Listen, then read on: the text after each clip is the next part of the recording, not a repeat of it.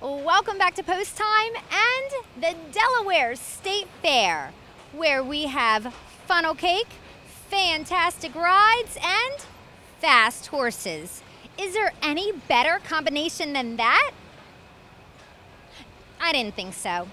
So let's head right behind the starting gate again with more racing action. In this awesome event for super talented pacers, we'll go behind the gate for the $20,000 President's Cup. There are. There goes Cadence out for the lead alongside his Art Graham. Center of the track go both ways from the far outside SB Mike's Hot Beach. As they make the way into the first turn, Art Graham is up after the lead. Cadence has the rail in second, dropping in there third. Go both ways.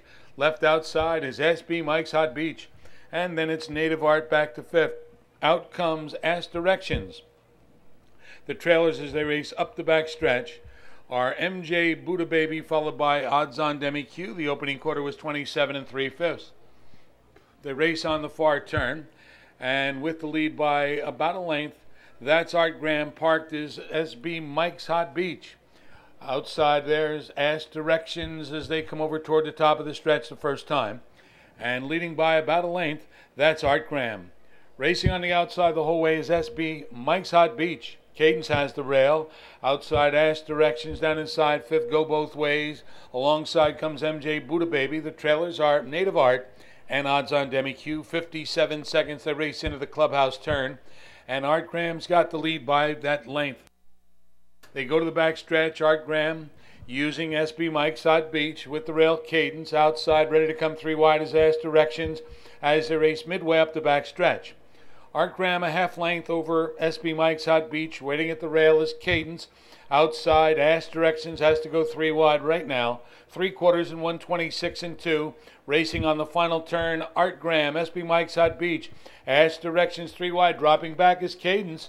Coming to the top of the stretch, Art Graham turns for home, leading by almost two lengths. It's Art Graham. Ask Directions trying to get away from SB Mike's Hot Beach has been out the whole way, still fighting for second. Coming toward the wire, Art Graham is in front. Go both ways down the inside, outside. MJ Buddha Baby gets second. Very tight for third. Art Graham, the race favorite, wired the field in 154 and 2. The eight year old pacer is owned by Betty Brittingham, trained by her husband Don, and driven by her son Brett. MJ Buddha Baby came home fast to take the place money. Appropriately enough, in the President's Cup winner circle was the Harrington Raceway president, William Chasanov, to congratulate the connections on this big victory.